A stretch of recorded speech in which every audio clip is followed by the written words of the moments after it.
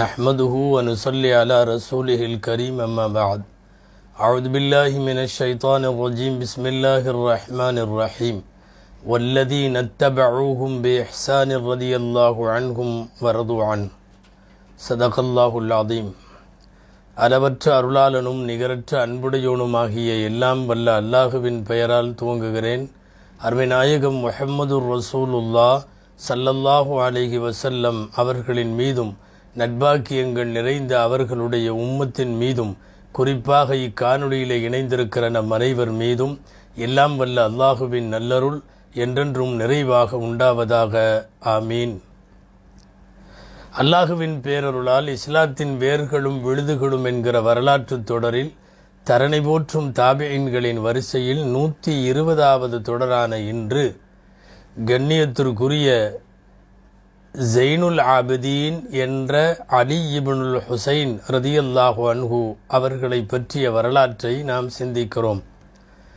ஹதரத் ஹுசைன் ரதியல்லாஹு தாலா அன்ஹு அவர்களினுடைய வம்ச வாரிசுகளில்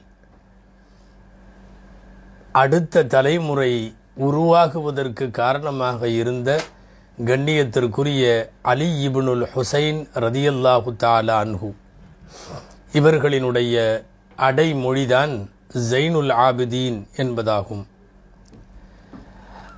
நாமெல்லாம் நேசிக்க வேண்டிய போற்ற வேண்டிய அகிலபைத்துகள் என்கிற பெருமானார் செல்லல்லாஹு அலிஹி வசல்லத்தினுடைய குடும்பத்தை சார்ந்தவர்கள் அலி இபுனுல் ஹுசைன் ரதியல்லாஹு தாலான்ஹு இவர்களினுடைய வம்சச் சிறப்பை நாம் சொல்லித் தெரிய வேண்டியதில்லை.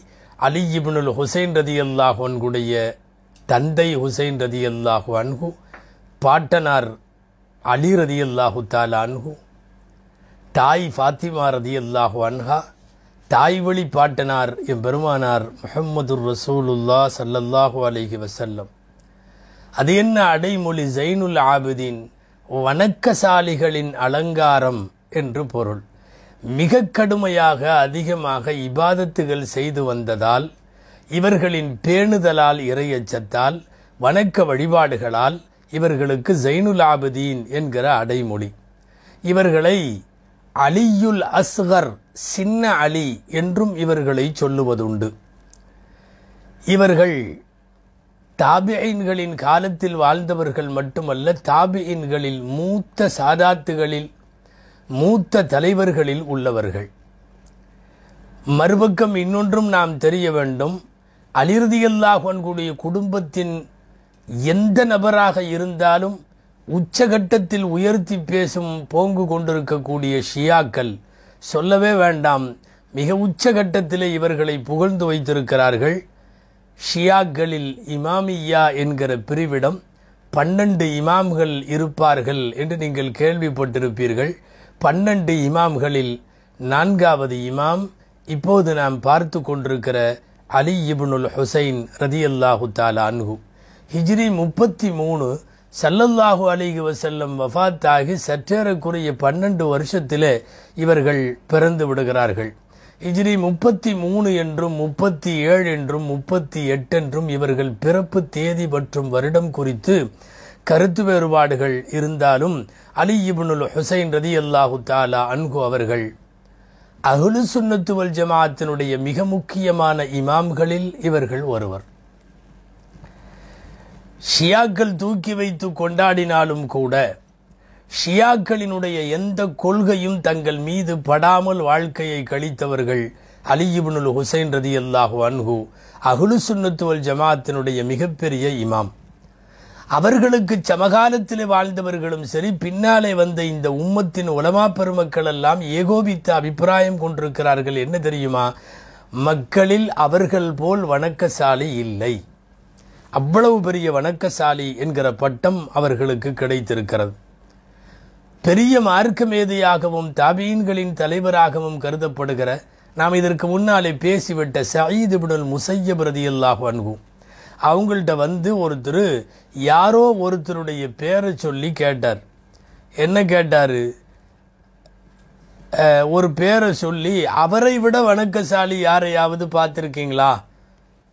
அப்படின்னு கேட்டார். சயீது பினல் முசையப் ரதி திரும்ப கேட்டாங்க. அரைத்த ஜைனல் ஆபிதீன்? நீ ஜைனுல் ஆபிதீனை பார்த்துருக்கியா? அப்படின்னு கேட்டாங்க. சொல்லிட்டு சொன்னாங்க லவ் ரை தகு அலிம் தகு நீ மட்டும் ஜைனுல் ஆபிதீனை பார்த்துருந்தம்னா பார்த்துருந்தேன்னா நீ தெரிஞ்சுக்குவ. இன்னக்க லம்தர் ஆஹதன் அஷத்த வர மின்ஹு. அவரை விட இந்த உலகத்தில் யாருமே பேணுதலானவர்கள் இல்லை என்பதை நீ பிரிந்து கொண்டிருப்பாய் என்று சொன்னார்கள் சயீத் இப்னுல் முசையப் அல்லாஹு தாலான்ஹு பாருங்கள் இவருடைய வரலாற்றின் சில பகுதிகளை பார்ப்போம். கர்பலாவிலே தந்தையோடு இருந்தாலும் கர்பலா யுத்த களத்திலே பங்கேற்கவில்லை. உங்களுக்கு தெரியும் ஹதரத் ஹுசைன் ரதி அல்லாஹு தாலா அன்கு அவர்கள் ஒரு முஹர்ரம் பத்தாம் நாளில் அவர்கள் கர்பலாவிலே படுகொலை செய்யப்பட்டார்கள். ஹதரத் ஹுசைன் ரதி அல்லாஹு தாலா அன்ஹு அநியாயமாய் அக்கிரமமாய் அரசியல் விரோதமாய் நோன்பாளியாக வைத்திருந்த நோன்பு வைத்திருந்த பெருமானார் சல்லல்லாஹு அலிகி வசல்லத்தை அச்சு அசலாக பிரதி எடுத்ததைப் போல் இருந்த ஹதரத் இமாம் ஹுசைன் ரதியல்லாஹு தாலா அன்கு அவர்களை அவர்கள் கொன்றார்கள். ஜைனுல் ஆபிதீன் ரதியல்லாஹு தாலா அன்ஹு மட்டும்தான் அந்த வம்சத்தில் தப்பியவர்கள் அவர்கள் அன்றைக்கு போரில் பங்கேற்கவில்லை. காரணம் அவர்கள் கடுமையான காய்ச்சலாக இருந்ததால் அவர்களை கூடாரத்திலே விட்டுவிட்டு மற்றவர்கள்தான் போருக்கு போனார்கள். இவர்கள் போரிலே பங்கேற்கவில்லை. போரில் பங்கேற்காவிட்டாலும் கூட அப்போது இந்த அலி ரதி அல்லாஹ் அவர்களுக்கு அதாவது அலி இப்னுல் ஹுசைன் ரஹமத்துல்லாஹி அலி அவர்களுக்கு சஹாபாக்களின் பெயர்களில் மற்ற பெயர்களோடு குழம்பிவிடக்கூடாது என்பதால் நாம் இந்த தொடரில் இவர்களின் பெயரை ஜெயினுலாபதீன் என்றே அழைக்கிறோம். ஜெயினுலாபதீன் அவர்களின் வயது இருபத்தி மூணு இருபத்தி மூன்று வயதிலே கர்பலா யுத்த களத்தில் ஒட்டுமொத்த குடும்பமும் கண்ணுக்கு முன்னாலே கொல்லப்படுவதை மிக கோரமாக அந்த கொடுமையை எதிர்கொண்டவர்கள் ஜெயினுல் ஆபதீன் ரஹமத்துல்லாஹி அலிகி அவர்கள். அல்லாஹுடைய ஏற்பாடு என்று சொல்ல வேண்டும். காரணம் ஹதரத் ஹுசைன் ரதி அல்லாஹு தாலா அன்கு தங்கள் எல்லா மக்களையும் கர்பலாவிலே இழந்தார்கள் இவர்கள் ஒருவரை தவிர. அப்படியானால் ஹுசைன் ரதி அல்லாஹு தாலா அன்கு அவர்களுடைய வம்சம் இந்த உலகத்திலே தழைப்பதற்கு அந்த வம்சம் விருட்சமாய் வளருவதற்கு அந்த வம்சத்திலே இன்னமும் மிச்சம் இருப்பதற்கு காரணம் என்னவென்றால் இந்த தப்பித்த ஒரே ஒருவரை வைத்துத்தான் அந்த வம்சம் நீளுகிறது. இது அல்லாஹுடைய ஒரு ஏற்பாடு. ஹுசைன் ரதி அல்லாஹு தாலா அன்கு வழியாய் அருமைநாயகம் சல்லல்லாஹு அலிக வசல்லத்தினுடைய அந்த மகள் வழி தொடர் வம்சத்தை அல்லாஹ் இந்த மண்ணிலே நிலைநிறுத்துவதற்காக வேண்டி அலி இபின் ஹுசைன் ரதி அல்லாஹ் அன்கவர்களை போரிலே பங்கேற்காமல் செய்தான் என்று நாம் புரிய வேண்டியது இருக்கிறது. எல்லா மக்களையும் இழந்தார்கள் ஹதரத் ஹுசைன் ரதி அல்லாஹ் அன்கு கர்பலாவில். ஹுசைன் ரதி அல்லாஹு தால் அன்கு அவர்களை கொன்றவர்கள் மீது அல்லாவின் சாபம் உண்டாவதாக. ஹுசைன் ரதி அல்லாஹு தாலா அன்குவின் கொலைக்கு யாரெல்லாம் ஆர்காட்டிகளாக இருந்தார்களோ இஷாரா செய்தார்களோ அவர்கள் மீதும் அல்லாஹுவின் பத்துவா உண்டாவதாக. யாரெல்லாம் ஹுசைன் ரதி அல்லாஹு தாலா அன்கு அவர்களின் கொலை செய்தியை கேட்டதற்கு பின்னால் உள்ளத்திலே மகிழ்ச்சி கொண்டானோ அவன் மீதெல்லாம் அல்லாஹுடைய சாபம் உண்டாவதாக. ஹதரத் ஹுசைன் ரதி அல்லாஹு தாலா அன்கு அவர்களுடைய இந்த வாரிசு ஜெயினுல் ஆபிதீன் மதினாவிலே வளர்ந்தார்கள். மதினாவிலே வளர்ந்த காரணத்தால் ஏராளமான சஹாபாக்களிடம் பாடம் படிக்கும் பெரும்பேறு இவர்களுக்கு கிடைத்திருந்தது. இவர்கள் தங்கள் தந்தை ஹுசைன் ரதி அல்லாஹ் ஒன்குடம் இருந்து அறிவிக்கிறார்கள். இவர்களுடைய பாட்டனார் அனிருதி அல்லாஹ் ஒன்குடம் இருந்து ஹதீஸுகளை அறிவிக்கிறார்கள். இவங்க பாடம் படித்த மார்க்க கல்வியை பயின்றதெல்லாம் பெரும் பெரும் சஹாபாக்களிடம். சல்லல்லாஹு அலிக வசல்லமுடைய மனைவி சஃபியா ரதி அல்லாஹ் ஒன்காவிடம் ஆயிஷா ரதி அல்லாஹ் ஒன்காவிடம் உம்மு சலமாவிடம் ஹதீஸ் கலையில் தன்னிகரற்ற அபு ஹுரேரா ரதி அல்லாஹு தாலா அன்பவர்களிடம் இவர்களுடைய சிறிய தந்தை ஹசன் ரதி அல்லாஹு தாலா இவர்களுடைய பெரிய தந்தை ஹசன் ரதி அல்லாஹு தாலா அன்பவர்களிடம் இபின் அப்பாஸ் ரதி அல்லாஹு அன்புவிடம் இவர்கள் யார் யாரிடமெல்லாம் பாடம் படித்தார்கள் என்ற ஒரு பெரும் சஹாபாக்களின் பட்டியலை தஹதீபுல் கமால் நூலிலே வரிசைப்படுத்தி இருக்கிறார்கள். இவர்களிடம் பாடம் கற்ற தாபியின்களுடைய வரிசை நூறை தாண்டுகிறது. ஏராளமான பேருக்கு கல்வி கிடைக்க காரணமாக இருந்து பெரும் கல்வி சுரங்கமாய் திகழ்ந்த இவர்களை குறித்து ஒரு இடத்தில் எழுதுகிற இமாம் ஷாஃபி ரஹமத்துல்லாஹி அலிஹி இன்னகு அஃப்ககு அகிலில் மதீனா. மதீனாவாசிகளில் இவர்தான் மிகப்பெரிய சட்டமேதை என்று குறிக்கிறார்கள். சரி இவர்களுடைய தந்தையை பற்றி உசைன் ரதி அல்லாஹ் அன்கோ அந்த வம்சமெல்லாம் தெரிந்தோம். இவர்களுடைய தாய் தாய் அரபு நாட்டை சார்ந்தவர் அல்ல. பாரசீக நாட்டை சார்ந்த ஒரு பெண். உசைன் ரதி அல்லான்னு கல்யாணம் பண்ணியிருந்தாங்க அந்த அம்மாவை. பாரசீக அரசருடைய மகள். அந்த உசைன் ரதி அல்லா ஜெயினுல் ஆபதீன் அவர்களுடைய தாயான உசைன் ரதி அல்லாஹு தாலா அன்குனுடைய மனைவியின் பெயரை குறித்து கொஞ்சம் தெரிய வேண்டும். சுலாஃபா பின்து எஸ்தர்ஜித் என்று சொல்லி அவர்களுடைய பெயர். இது ஒரு ஃபார்சி பெயர். சுலாஃபா அப்படின்னு எழுதியிருக்கிறாங்க. அந்த நாட்டினுடைய அரசருடைய மகள். அகலுசுன்னத்துவல் ஜமாத்தினுடைய கிதாபுகளிலே சுலாஃபா என்றும் ஷியாக்களுடைய சில நூல்களில் ஷஹர்பானு என்றும் எழுதியிருக்கிறார்கள். ஷஹர்பானு அப்படின்னு எழுதியிருக்குது ஷாஹ் ஜனான் அப்படின்னு எழுதியிருக்கு. இந்த ரெண்டு பேர் சொல்கிறாங்க சுலாஃபா அவர்களை உசைன் ரதி அல்லாஹு தாலா அன்கு மணமுடித்து அதிலே பிறந்தவர்கள் தான் ஜெயினுல் ஆபுதீன். இந்த பெண்ணினுடைய அதாவது அரசருடைய மகளாக இருக்கிற இந்த சுலாஃபாவினுடைய தங்கையை அபூபக்கர் அல்லாஹனுடைய மகன் அப்துல்லா அவர்கள் மணமுடித்திருந்தார்கள் அல்லாஹுவின் பேரருளால் இந்த ஜைனுல் ஆபதீன் வளர்ந்து மிகப்பெரிய மார்க்க மேதையாகி மதினாவின் சட்ட மேதையாய் சமகாலத்திலே மிகப்பெரிய வணக்கசாலியாய் திகழ்ந்த இவர்களுக்கு அல்லாஹ் ஏறத்தாழ பதினேழு மக்களை கொடுத்தார் பதினேழு பேர். அந்த பதினேழு பேர்த்தில் அஞ்சு பேர் பெண் மக்கள். மீதி பன்னெண்டு பேர் ஆண் மக்கள். ரசூலுல்லாஹி சல்லல்லாஹு அலிகி வசல்லம் அவர்களால் கூட இவர்களுடைய வம்சம் குறித்தெல்லாம் முன்னறிவிப்பு செய்யப்பட்டிருப்பதாக சில அதிசுகளை பார்க்கிறோம். இது குறித்து ஷியாக்கள் நிறைய கட்டுக்கதைகளை அவர்கள் நூலிலே எழுதி வைத்திருந்தாலும் நாம் அதையெல்லாம் இங்கே சொல்லவில்லை தவிர்ப்போம். அகலு சுன்னாவின் ஆதாரபூர்வமான கிதாபுகளிலே உள்ளதை மட்டும் பேசுகிறோம். அல்பிதாயா வன்னிஹாயாவிலே அல்லாமா இபுனு கத்தீர் ரஹமத்துல்லாஹி அலிகி பதிவு செய்கிற ஒரு செய்தி. அறிவிப்பது யார்? நபித்தோழர் ஜாபிர் இபின் அப்துல்லா ரதியல்லாஹு தாலானு சொல்கிறாங்க சல்லல்லாஹு அலி வசல்லம் அவர்கள் சின்ன வயசாக இருந்தப்போ உசைன் ரதியல்லாஹு மடியில் வச்சு விளையாடிட்டு இருந்தாங்களாம். பக்கத்தில் ஜாபிர் ரதியல்லான்னு இருந்திருக்காங்க.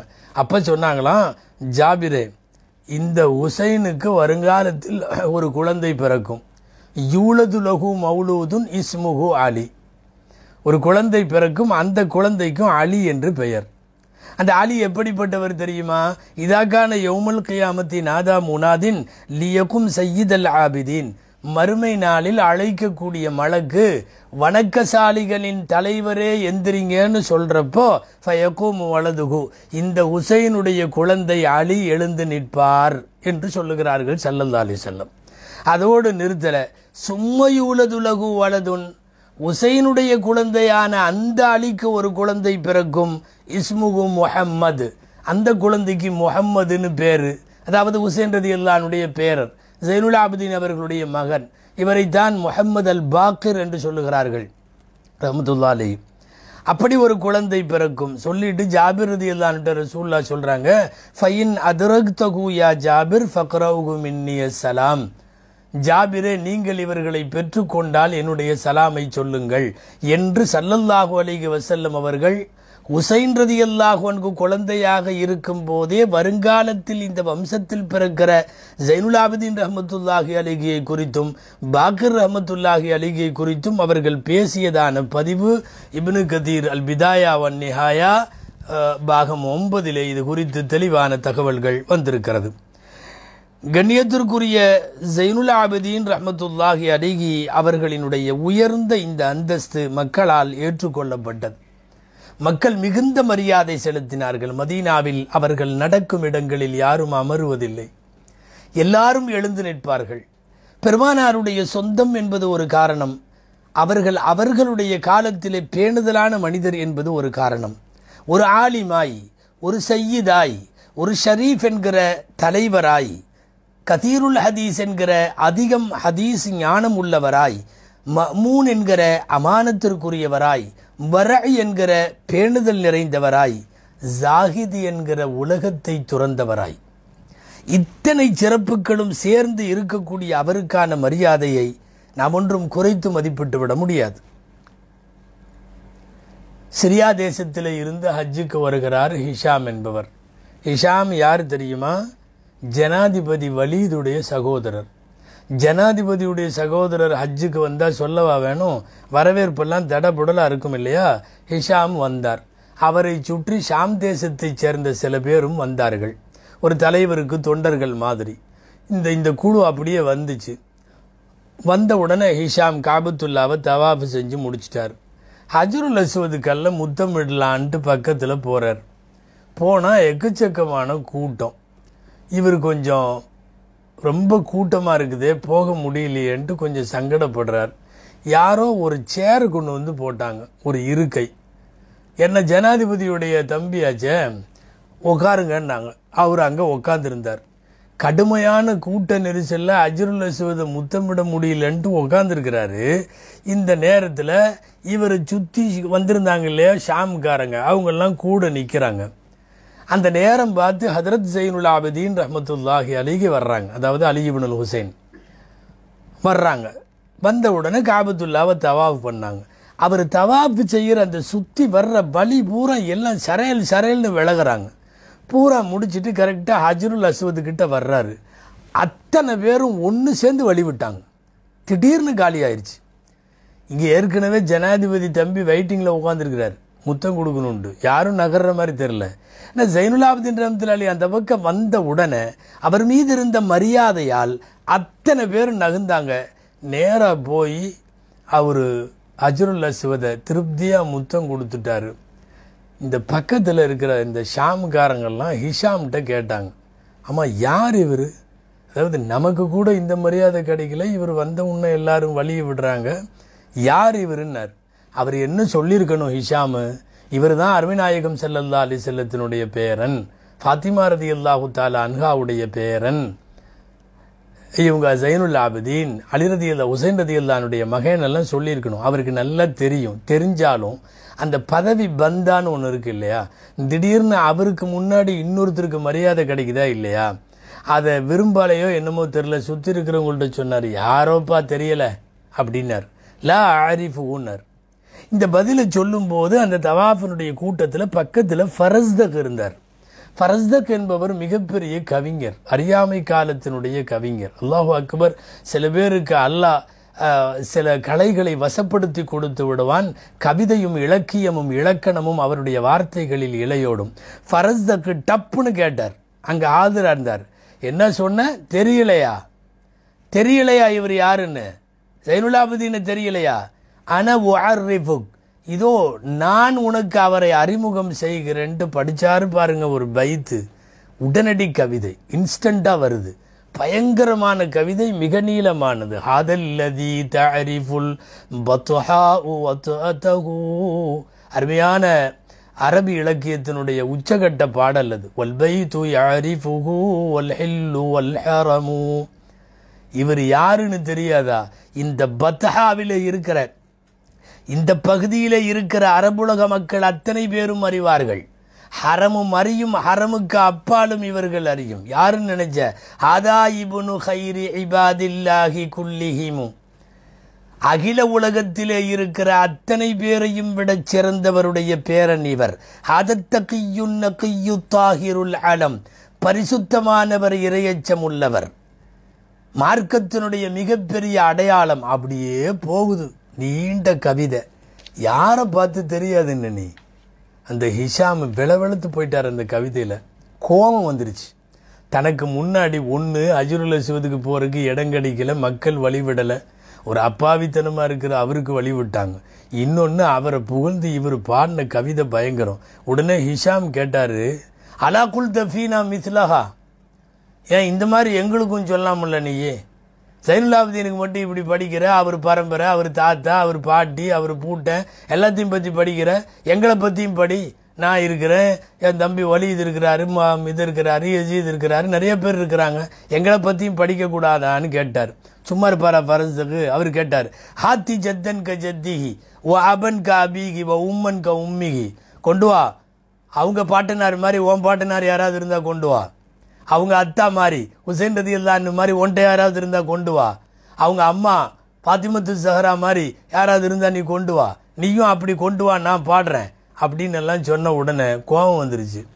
மக்காவுக்கும் மதினாவுக்கு இடையில அஸ்ஃபான் ஒரு இடம் இருக்குது அஸ்ஃபான்னு சொல்லுவாங்க. அந்த இடத்துல வச்சு ஃபரஸ்தக்கு அரெஸ்ட் பண்ண சொல்லி உத்தரவு போட்டாங்க. இந்த விஷயம் அப்படியே ஜெயலலாப்தின் ரம்துலாலிக்கு தெரியுது.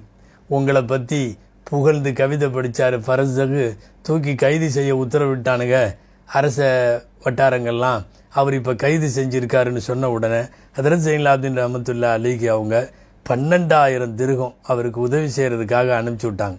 அனுப்பிச்சி விட்டுட்டு ஜெயினுல் ஆப்தின் அப்துல் அலி சொன்னாங்க அதர் நாய் அபா ஃபராஸ் ஃபலவுக்கானத்தை இந்தன அக்தரம் இருந்தாலிக்கல்ல வசல்னா இலைக். எங்கள்கிட்ட இந்த பன்னெண்டாயிரம் ரூபா தான் இப்போ இருக்குது. இதை விட அதிகமாக இருந்துச்சுன்னா இன்னும் கூட கொடுத்துருப்போன்னு சொன்னப்போ ஃபரஸ் தக்கு ஆயிரம் தான் அவர் அறியாமை கால கவிஞர் என்றாலும் வாங்க மறுத்துட்டார். சொன்னார் இது வந்து நான் வாங்கக்கூடாது பெருமானார் செல்லல்லாஹு அலைஹி செல்லத்தினுடைய வம்சத்திற்கும் அவர்களின் பேரப்பிள்ளைகளுக்கும் அவர்களின் குடும்பத்தாருக்கும் அவர்களை பிரியம் வைக்க வேண்டியதும் அன்பு செலுத்த வேண்டியதும் எங்கள் கடமை? நான் அந்த கடமையை செஞ்சுருக்கேன். நான் உங்களை புகழ்ந்து பாடிய எந்த வரிகளிலும் ஒரு துளி கூட கவிஞர்களுக்கே உரித்தான மிகை என்பது இல்லை. மிகையில்லாமல் புகழப்பட்ட என் கடமையை செய்த எனக்கு நீங்க பன்னெண்டாயிரம் திருகம் கொடுத்து அனுப்பினது தப்பு. நான் வாங்க மாட்டேன்னு திருப்பி கொடுத்ததாக நாம் பார்க்கிறோம். ஜைனுல் ரஹமத்துல்லாஹி அலிஹி அவர்களுடைய பேரும் புகழும் இப்படி அறியப்பட்டது. சேரு அலாமன் நுபவாவில் நுபலாவிலே அல்லாமா தஹபீர் ரஹமத்துல்லா அலிக்கு ஒரு செய்தி எழுதுறாங்க. எல்லாரும் ரொம்ப கவனிக்க வேண்டிய செய்தி. காரணம் என்னன்னா தப்பு தவறுமாக ஷியாக்கள் இது போன்றவர்களின் வரலாறுகளை புரட்டி வைத்திருப்பதால் பேச வேண்டிய தெரிவிக்க வேண்டிய பொறுப்பு நமக்கு இருக்கிறது. இமாம் தஹபீர் ரஹமத்துல்லா எழுதியிருக்கிறார்கள் காணம் இன்ன இம்மத்தி அகிலி சுன்னத்து வல் ஜமா அகிலு சுன்னத்து வல் ஜமாஅத்தினுடைய இமாம்களில் இவர் ஒருவர். ஷியாக்கள் என்று சொல்லக்கூடிய அகில பைத்துகளுடைய குடும்பத்தின் மீது பிரியத்தில் கொஞ்சம் உச்சத்தை மிகைப்பை காட்டுகிற மக்களை இவர்கள் வாழ்க்கையில மறுத்திருக்கிறார்கள். அந்த ஜனங்களை பார்த்து இவங்களே சொல்லியிருக்காங்க ஐயுஹன்னாஸ் அஹிப்பூனா ஹுப்பல் இஸ்லாம். ஜனங்களே தயவு செய்து எங்களை இஸ்லாத்தில் சொன்ன மாதிரி இஸ்லாமிய பிரியமாக எங்களை பிரியப்படுங்க. ஃபமா பரிஹபினா ஹுப்புக்கும் ஹத்தா சார அலைனா ஆரன். நீங்கள் எங்கள் மேலே பிரியம் வச்சு அதை ஓவராக கொண்டு போய் எங்களை கேவலப்படுத்திடாதீங்க என்று சொன்னார்கள் ஹதரத்து ஜெயினுல் ஆபதீன் ரஹமத்துல்லாலி. பொதுவாகவே இந்த ஷியாக்கள் அபுபக்கர் ரதி இல்லான்னு உமர் ரதி அல்லா ஒன்றுவோ திட்டுவானுவோ. அவனுக்கு கிதாபுகளில் பூரா திட்டுவானுங்க. நாங்கள் முன்னாடியே சொல்லியிருக்கோம். ஷியாக்கள்கிட்ட வந்து உமர் ரதி கொல்லப்பட்ட நாள் ஈது பெருநாள். அப்படின்னா எந்த அளவுக்கு அவங்க அபுபக்கர் இல்லான்னு உமர் ரதி மேலே வஞ்சம் வச்சுருப்பானுங்க. ஒரு சில பேர் வரம்பு மீறி போனாங்க. அவங்கள பார்த்து ஹதரத் ஜைனுல் ஆபிதீன் ரஹமத்துல்லாஹி அலிகி அவர்கள் அபூபக்கர் ரதி அல்லாஹ் உமர் ரதி அல்லாஹ் ஒன்கவர்களும் எவ்வளவு உயர்வானவர்கள் என்பதை காலமெல்லாம் எல்லா சபைகளிலும் பேசியிருக்கிறார்கள். ஹதரத் அலி இப்னுல் ஹுசைன் என்கிற ஜைனுல் ஆபிதீன் ரஹமத்துல்லா அலி. முகமது அப்துல் ஒரு கிதாப் எழுதியிருக்கிறாங்க. இந்த கிதாபுக்கு பேரே என்னென்னா அல்லிமோ அவுலாதக்கும் மஹபத் அலி பைத்தின் நபி. ரசூலுடைய குடும்பத்தின் பிரியத்தை உங்கள் குழந்தைகளுக்கு கற்றுத்தாருங்கள்னு இத்த பெரிய தலைப்பு ஒரு புக்குக்கு ஒரு கிதாபுக்கு. அதில் இந்த செய்தியெல்லாம் எழுதியிருக்கிறாங்க. ஒருத்தர் வந்து கேட்டார். அந்த லிஸ்ட்டில் உள்ளவர் தான். அபூபக்கர் இல்லான்னு உமரதி இல்லான்னு பிடிக்காதவர் வந்து கேட்டார். என்னன்னு? அபூபக்கரது இல்லான்னு இல்லான்னுக்கு ரசூல் இல்லாட்ட என்ன அந்தஸ்து இருக்கும்னு நீங்கள் நினைக்கிறீங்க? அப்படின்னு கேட்டார். கைஃப மன்சுலத்து அபி பக்கரின் உமர இந்த ரசூல் இல்லாஹி சல்லா அலி செல்லம் அப்படின்னு கேட்ட உடனே அங்கே மதீனால மஸ்ஜித் நபவியில் உட்காந்துருந்தாங்க யார்? ஜெயிலாப்தின் ரம்ஜிலாலி என்ன அந்தஸ்துன்னு தானே கேட்குற இந்த அந்த அந்தஸ்தை பாரு. அப்படின்னு கபரை கை காட்டினாங்க. ரவுலாவை கையை காட்டினாங்க. அதுதான் அந்தஸ்து. ரவுலாவில் அன்னலாரோடு படுத்துறங்கி கொண்டிருப்பது அந்த ரெண்டு பேர் தான் அன்னலாரோடு அடக்கம் செய்யப்பட்டிருப்பது அந்த ரெண்டு பேர் தான் அஷார இலா கபரிகிமா ஒகாலபி மன்சிலத்திகிமா மின் உஸ்ஸா இப்போ என்ன மரியாதை கபூரில் இருக்குதோ அந்த மரியாதை தான் அவங்களுக்கு வாழ்க்கையில் இருந்துச்சு என்று பேசியதை வைத்து தெரிகிறது. ஷியாக்களுடைய கருத்துக்களுக்கு எந்த வகையிலும் இவர்கள் உடன்பட்டவர்கள் அல்ல. இதே லிஸ்டில் ஒரு ஆள் இன்னொரு ஆள் வந்தார். வந்து அக்பிர்னி அன் அபிபக்கர் அபூபக்கரை பற்றி எனக்கு கொஞ்சம் சொல்லுங்கன்னார். உடனே இவங்க கேட்டாங்க ஜெயின்லாப்தின் ரம்துலாலி அனி சித்திகி தஸ் அல் யாரு சித்தீக்கிறது இல்லான்னு பத்தியா கேட்குற அப்படின்னாங்க. வந்த ஆள் கேட்டாரு துசம்மிகு சித்திக். நீங்களுமா அவரை சித்திக்குங்கிறீங்க? அபூபக்கர்னு பேரை சொல்லிட்டு அவர்களுடைய சிறப்பு பெயரான சித்திக்குங்கிறத சொல்லலை அவன். இவங்க கேட்குறாங்க சித்திக்கை பற்றி தானே கேட்குறீங்க அப்படின்னு. அந்த ஆள் கேட்குறாரு துசம்மிகு சித்திக். நீங்களுமா அவரை சித்திக்குங்கிறீங்கன்னு. டப்புன்னு வாயில் வந்துச்சு வார்த்தை. சகிலத்துக்கு உம்முக்கு உன் தாய் உன்னை இழக்கட்டும். என்ன சித்திக்குங்கிறத விட்டுட்டு அபூபக்கர்னு மட்டும் சொல்ற. கது சம்மாகு சித்தீகன். அவர்களுக்கு சித்தீக் என்ற பெயரை யார் வைத்தாங்க தெரியுமா? மன்குவ ஹைரும் மின்னி ரசூலுல்லா வல் முஹாஜிரூன் வல் அன்சார். அல்லாவுடைய தூதர் சொன்னாங்க சித்தியக்குன்னு முஹாஜிர்கள்லாம் சொன்னாங்க சித்தியக்குன்னு அன்சாரிகள்லாம் சொன்னாங்க சித்தியக்குன்னு ஃபல்லா ஃபமல்லம் யுசம்மிகி சித்தியக்கன் ஃபலா சத்தகல்லாஹு கவுலகு அபூபக்கர் அல்லாஹ் என்பவர்களை சித்தீக் என்று ஏற்காதவனின் சொல்லை அல்லாஹ் இந்த உலகத்தில் உண்மைப்படுத்தாமல் இருக்கட்டும். சித்தீக்னா உண்மைப்படுத்துறவர்னு அர்த்தம். உண்மைப்படுத்துபவர் என்று அவரை யார் ஒத்துக்கொள்ளவில்லையோ அவர்கள் சொல்லு உண்மைப்படுத்தப்படாமல் போகட்டும் அப்படின்னு சொல்லிட்டு அழகான ஒரு அட்வைஸ் பண்ணாங்க. இதுஹப் ஃபஅஹிப்பஹுமா ஃபமா கான மின் இஸ்மின் ஃபபகிய உனுகி. பக்கிய உனுகி. போ. போய் இனிமேலும் மரியாதையா அபூபக்கிறது எல்லான்னு உமரது இல்லான்னு ரெண்டு பேர்த்த மஹப்பத்து வையி பிரியம் வையி. ஒருவேளை இவர்கள் இருவரையும் நீ நேசம் வைப்பது தப்பென்று இருக்குமானால் அந்த பாவத்தை என் கழுத்தில் போடு நான் ஏற்றுக்கிறேன் மறுமையில். அபூபக்கரதி அல்லாஹ் ஒன்கு உமரதி அல்லாஹ் ஒன்கு இருவரையும் பிரியப்பட வேண்டும் என்பதை சொல்லிக் கொடுத்தவர்கள் ஜெனுல் ஆபதின் ரஹமத்துல்லாலி அல்லாஹு அக்பர் மிகப்பெரிய வணக்கசாலி.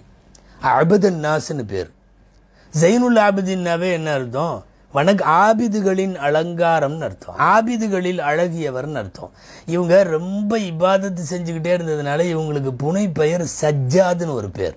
சஜ்ஜாதுன்னா ரொம்ப சஜிதா செய்கிறவர்னு அர்த்தம்.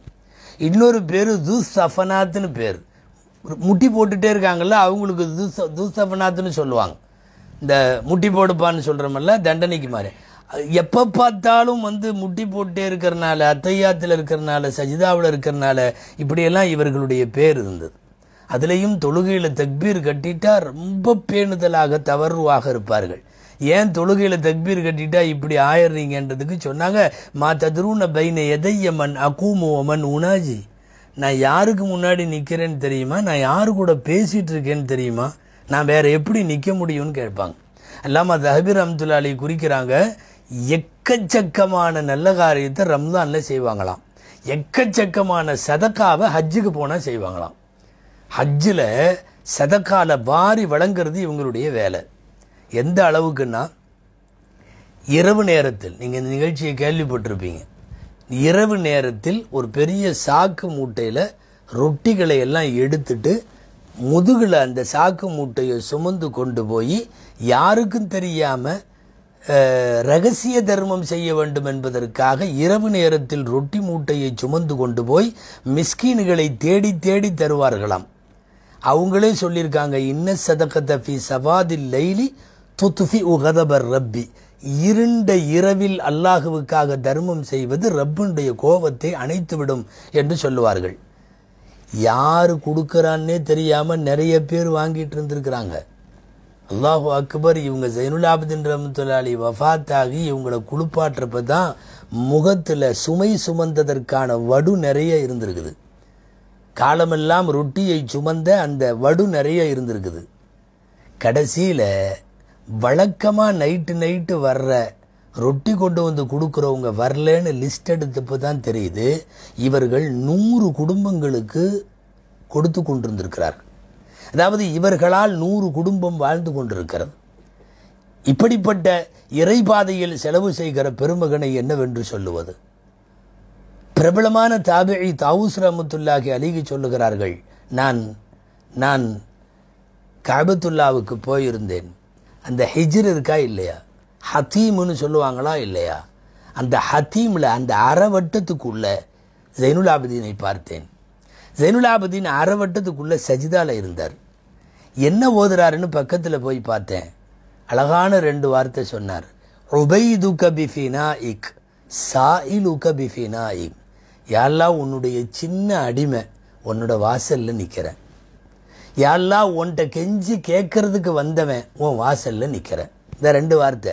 ஒபைதுக பிஃபினாயிக் சாயிலுக பிஃபினாயிக். உன்னுடைய முற்றத்திலே ஒரு குட்டி அடிமை வந்து நிற்கிறேன். உன்னுடைய முற்றத்திலே யாசகம் கேட்பவன் வந்து நிற்கிறேன். அவங்களே பின்னால் சொல்கிறாங்க யார்? ஜைனாப்தின் ரம்துலாலி ஃபவல்லாஹி மா தவுத்து பிஹா ஃபி கர்பின் கத்து இல்லா கஷஃப அன்னி. நான் எப்போவெல்லாம் இந்த ரெண்டு வார்த்தையை சொல்லிட்டு அல்லாட்ட துவா கேட்பனோ அப்போ அல்லா என் கஷ்டத்தை எல்லா நேரமும் நீக்கியிருக்கிறாங்கிறாங்க. இந்த செய்தி அல்லாமா இபுனு அசாகிர் ரஹமத்துல்லா அலி அவர்கள் தாரீக் திமிஷ்கில் பதிவு செஞ்சுருக்கிறாங்க. இந்த தாவூஸ் ரஹமத்துல்லா அலியினுடைய வரலாறோடு சேர்ந்து. மிகப்பெரிய அளவில் ஆக்கப்பூர்வமான கல்வி பணிகளை இதையெல்லாம் செஞ்சிட்டு இருந்தாங்க பேச ஆரம்பிச்சா அல்லாஹு அக்பர் ஆன்மீகம் தத்துவங்களாய் கொப்பளிக்கும் அவங்களுடைய பேச்சில். ஒரு தடவை பயானில் சொல்கிறாங்க ஒவ்வொரு நாளும் நான் எந்திரிக்கிறேன். என்னை எட்டு பேர் எட்டு விதமாக தேடுகிறார்கள். இவங்க அவங்க சொன்ன வார்த்தை ஜெயின்லாப்தின் ரஹமத்துல்லாலி என்ன எட்டு பேர் எட்டு விதமாக தேடுறாங்க? அல்லாஹு யு தாலிபுனி பில் ஃபராயித். காலையில் நான் எந்திரிச்ச உடனே என் கடமையெல்லாம் கொடுன்னு அல்லாஹ் கேட்குறான் ஒ சுன்னத்த பின் நபி சல்லல்லா அலி செல்லம் நபி ஸல்லல்லாஹு அலி செல்லம் என்னோட சுண்ணத்துக்களை பூரா செய்யி அப்படின்னு கேட்குறாங்க ஒல் ஐயாலு பில் கூத்தி என் குடும்பம் எங்களுக்கு தேவையான செலவுக்கு கொடுன்னு கேட்குது ஒவ்வொருத்தரும் கேட்குறாங்க அல்லாஹ் கடமையை கேட்கிறான் அருமைநாயகம் சுண்ணத்துகளை கேட்கிறார்கள் குடும்பம் உணவு கொடு என்று கேட்கிறது. ஒன்னப்சு பி ஷஹுவா என்னுடைய மனசு மனோ இச்சையை கொடுன்னு கேட்குது ஒ ஷைதான் நபி இத்திபாய். ஷைத்தான் என்னை பின்பற்றிவான்னு என்னை கூப்பிட்றான்.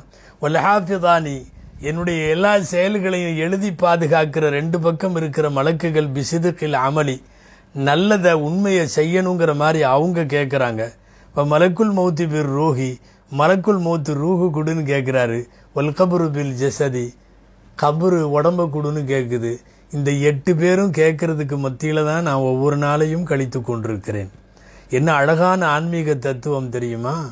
கடமையை அல்லாஹ் கேட்கிறான் சுண்ணத்தை ரசூல் கேட்கிறார்கள் குடும்பம் காசு கேட்கிறது ஷைத்தான் தன்னை தொடர்ந்து வர கேட்கிறான் நப்சு ஷகுவத் என்கிற மனோயிச்சையை கேட்கிறது மலக்குள் மூத்து ரூகை கேட்கிறார்கள் கபரு என் உடலை கேட்கிறது. என் வாழ்க்கை பயணம் இந்த எட்டுக்கு மத்தியிலே பயணிக்கிறது.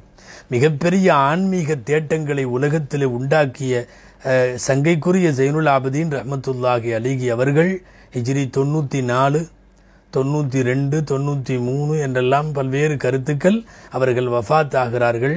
அவர்கள் வஃபாத் ஆகிற அந்த வருஷம் தொண்ணூற்றி நாலு சனத்துல் ஃபுகஹா என்று சொல்லுவார்கள்.